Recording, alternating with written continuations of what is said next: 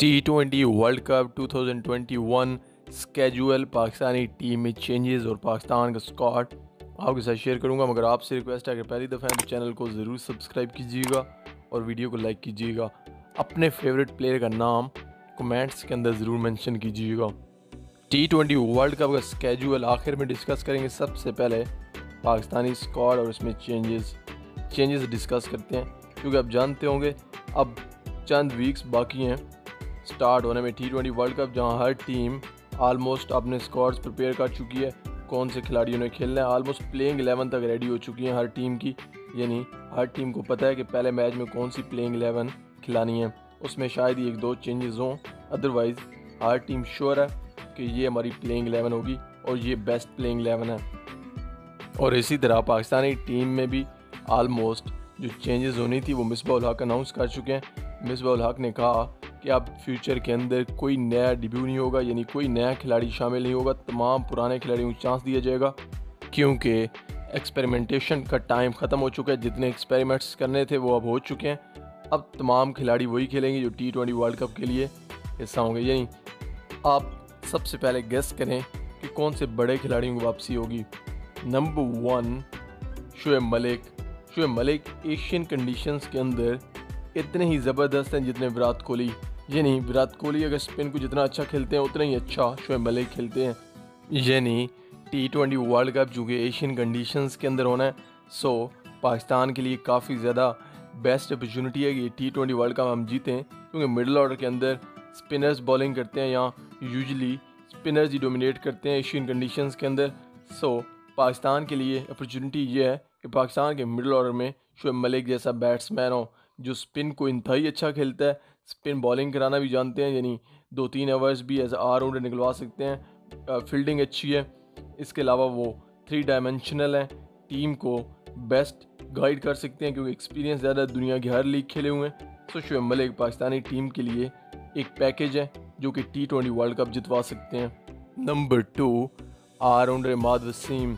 Imad Wasim आज भी अगर आप पावर प्ले के अंदर इकॉनमी रेट देखें इंटरनेशनल लेवल पे तो सबसे बेस्ट आपको इमाद वसीम का नज़र आएगा। जी हाँ बड़े स्पिनर जैसे राशिद खान हो गए या और कोई स्पिनर आप देख लें, उनका भी इकॉनमी रेट इतना अच्छा नहीं है जितना इमाद वसीम का है। और एज आर राउंडर खेलते हैं, यानी आखिर पे मैचेस फिनिश करना जानते हैं, अच्छी हार्ड हिटिंग कर लेते हैं।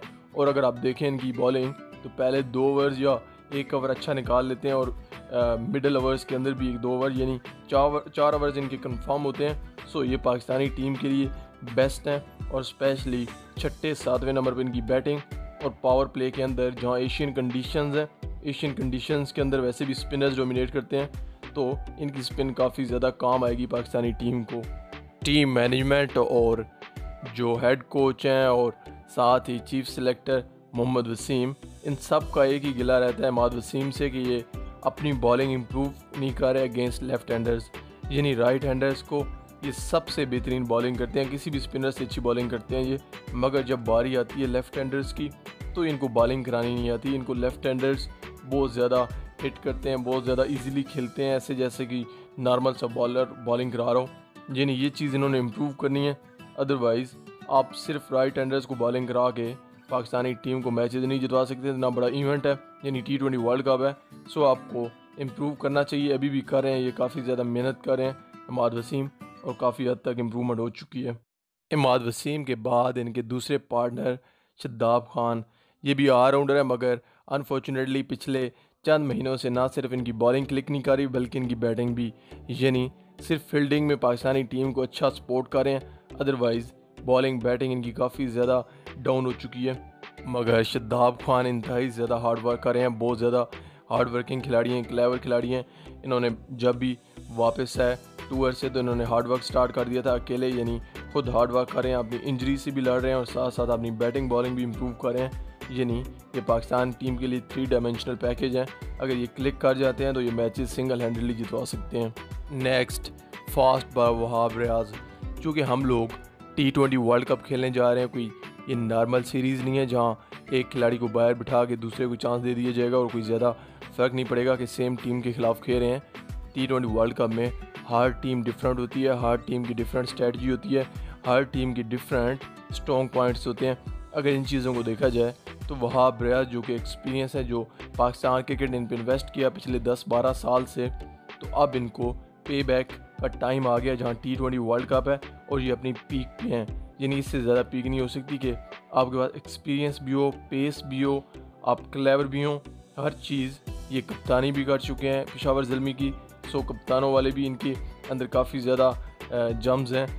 ये चीज़ काफ़ी ज़्यादा इंपॉर्टेंट होती है कि एक फास्ट बॉलर खुद कप्तान भी हो। क्योंकि ख़ुद कप्तान होगा तो उसको पता होगा फील्डिंग पोजीशंस क्या रखनी है, तभी वो अच्छा बॉलर बन सकता है। और वहाब रियाज से हमेशा यही डाउट्स होते हैं और यही इनसे होता है कि ये बॉलिंग किस साइड पे करेंगे और फील्डिंग किस साइड पे खड़ी होगी।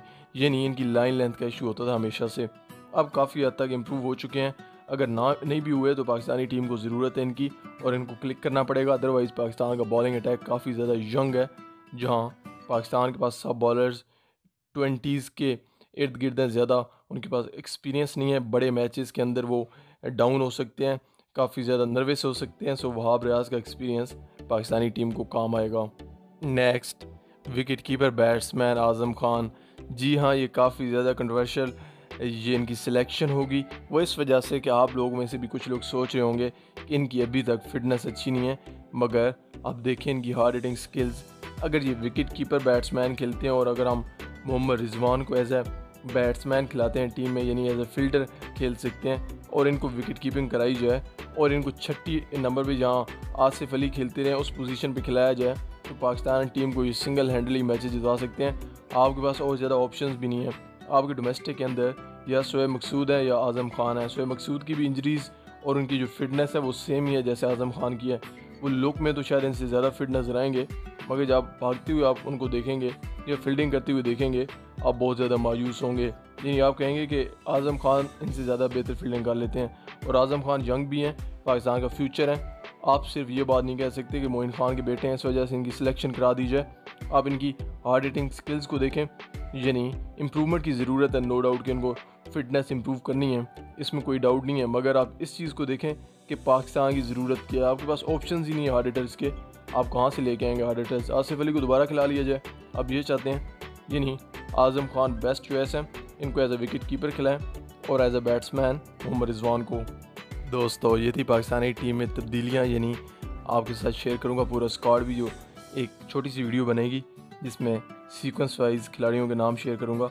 मगर इसमें बताया कि कौन सी तब्दीलियाँ की जाएँगी और आपको बताता चलूँ, ये टी ट्वेंटी वर्ल्ड कप 18 अक्टूबर से 15 नवंबर के दरमियान खेला जाना है, यानी एटीन अक्टूबर से 15 नवंबर तक। और ये मोस्ट प्रोबेबली यूई e या इंडिया के अंदर खेला जाएगा। डिपेंड करता है, ये डिसीज़न आखिर पे होगा।